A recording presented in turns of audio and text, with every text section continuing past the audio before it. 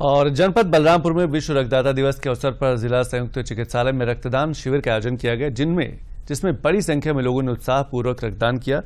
शिविर में युवा, महिला, स्वयंसेवी संस्थाओं के सौ से अधिक लोगों ने रक्तदान किया। रक्तदाताओं द्वारा अन्य लोगों को भी रक्तदान के लिए प्रेरित किया गया। युवाओं ने कहा कि हमारा रक्त किसी की ज़िंदगी बचाए, ये मेरे लिए गौरव की बात है। रक्तदान करने से हमें कोई दिक्कत नहीं महसूस होती।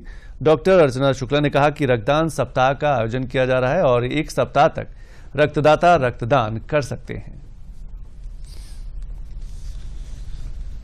जितना हो सके ब्लड डोनेट करें। आपका एक ब्लड चार मरीजों की जान बचाता है।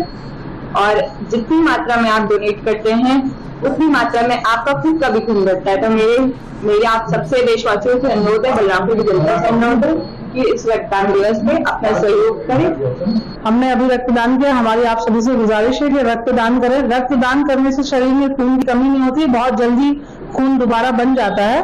और आप सभी रक्तदान करें, क्योंकि एक्सीडेंट या किसी भी परिस्थिति में खून की तुरंत ज़रूरत आप सभी में से, हम में से किसी को भी पड़ सकती है।